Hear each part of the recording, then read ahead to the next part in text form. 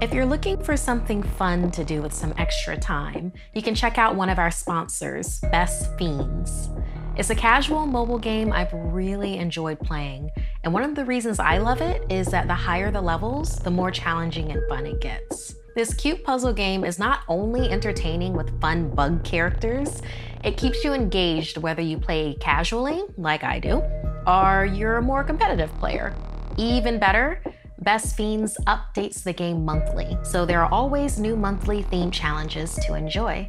Personally, my internet can be spotty at times, but Best Fiends doesn't require internet to play. So, whenever I want to, I can whip out my phone and spend some time puzzling with my Best Fiends. Best Fiends has thousands of levels already, with new levels, events, and characters added every month. It's hours of fun right at your fingertips, and you can even play offline. With over 100 million downloads and tons of five star reviews, Best Fiends is a must play. Download Best Fiends free on the Apple App Store or Google Play. That's friends without the R, Best Fiends. Hey, I'm Markeia. Want to hear something scary? Bright like knives. Some songs can take you on a journey through the highway. Other songs can invite something sinister out to cross your path. With a smile, a smile bright like knives in the dark. This is based on a true story.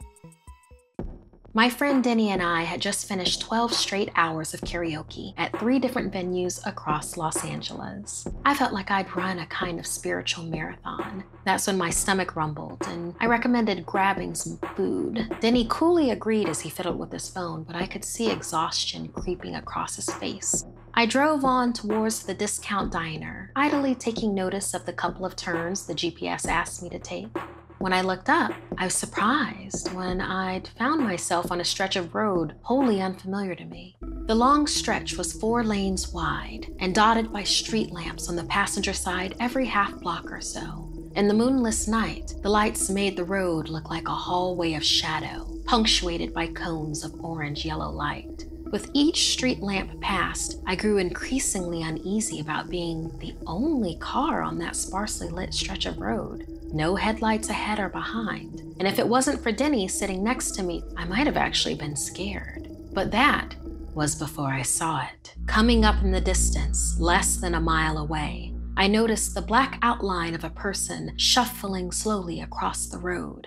The shape moved along the dark space between two street lamps, but I could see their silhouette shambling.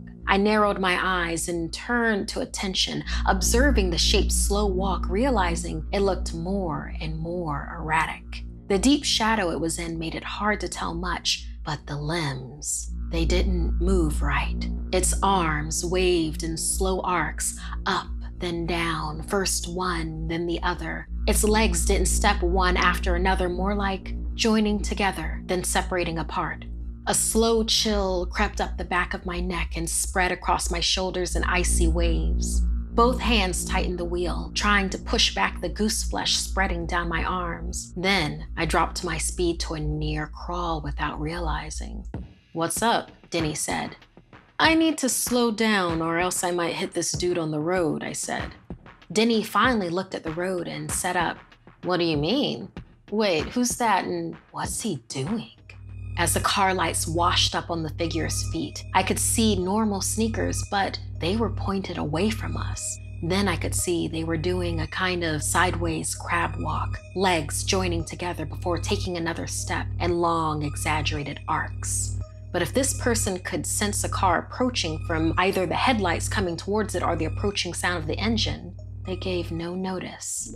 The figure kept its steady shuffle all while facing away from us. The car's lights rose to the shape's torso as it continued to flail its arms with each step, up and down like languid snakes.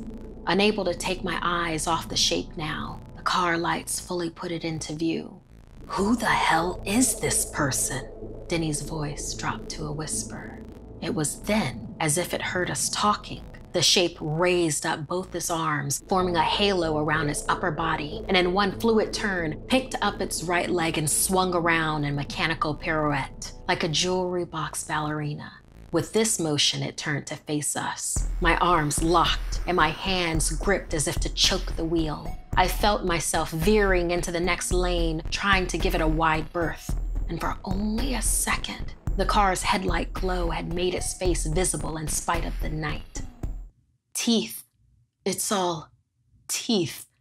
My mind reeled. Razor thin lips parted and turned up at the corners to show a perfect set of teeth locked into a menacing smile. Each tooth, incisor to canine, broke through the night and somehow shone bright, reflecting the light like knives against the dark. And though I was transfixed by this impossibly big smile, my mind scanned the grin for something that would reveal the figure's intentions. As we passed it on the right, I struggled with what else I saw. Above the all too big grin, past a nondescript nose to lock on its eyes. In place of normal eyes, twin black pools stared back at mine, as if each pupil had overflowed, spreading its darkness to the corners of his eyelids, threatening to spill even beyond that.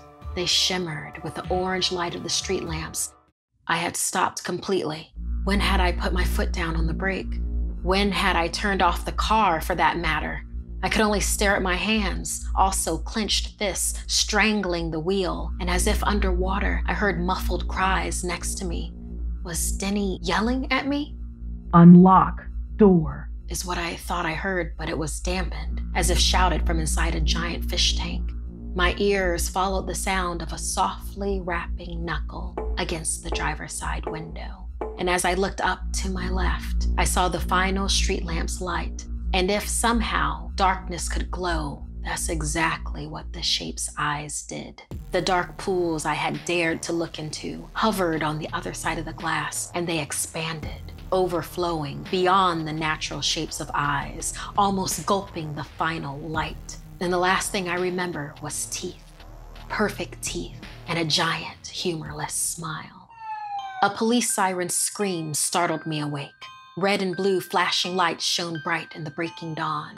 Regaining consciousness, I felt as if I'd been dragged out of a lake. But then I realized it was my own sweat that had drenched my clothes. I was still on the road, still in the car. That's when I looked over to the passenger side. The door was nearly pulled off its hinge, its metal frame slightly warped and pulled back as if peeled. Broken glass sparkled where Denny had sat, but the chair was empty.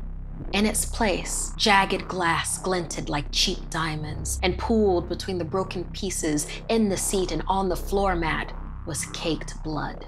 It collected in small crimson puddles, with an ominous smear trailing out of the car onto the road, then disappearing entirely merely feet away.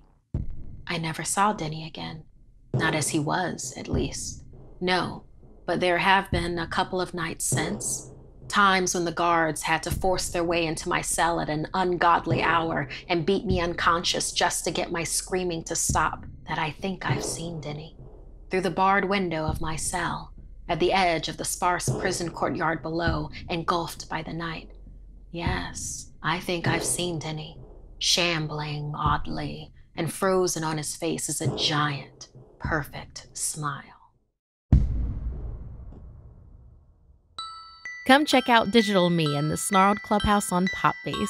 It's totally free and your place for some exclusive behind the scenes content from Something Scary.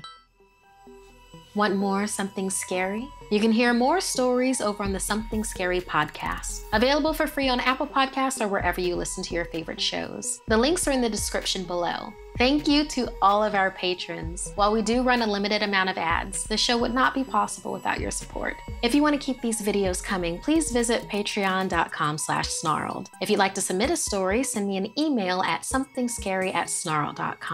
Like and share this video if it gave you the chills. And don't forget to subscribe to Snarled and turn on the bell for notifications. And if you dare, follow me on social media.